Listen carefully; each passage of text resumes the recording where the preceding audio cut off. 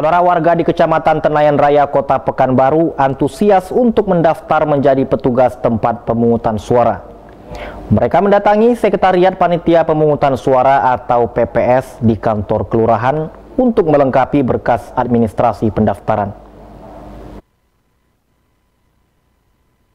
Panitia Pemungutan Suara atau PPS Kelurahan Tuah Negeri Kecamatan Tenayan Raya Kota Pekanbaru sudah mulai menerima pendaftaran dari warga untuk bisa menjadi penyelenggara pemilu 2024. Di wilayah ini terdapat sekitar 17 TPS sehingga dibutuhkan sekitar 119 orang kelompok penyelenggara pemungutan suara atau KPPS yang bertugas di TPS pada tanggal 14 Februari 2024. Selain menjadi momen sejarah yaitu sekali dalam lima tahun, antusias warga juga karena naiknya honor petugas TPS menjadi 1,1 juta rupiah.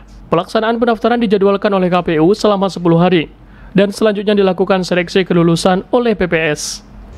Untuk menguruskan dari masyarakat ingin pengurusan anggota KPPS, jadi menanyakan kepada dari kelurahan masalah persyaratan-persyaratan yang akan dibentuk. Hmm. Untuk TPS sendiri Bapak di mana Pak? Di TPS 10 ke RW 4. Uh, sekarang ini persyaratannya sudah dilengkapi Pak?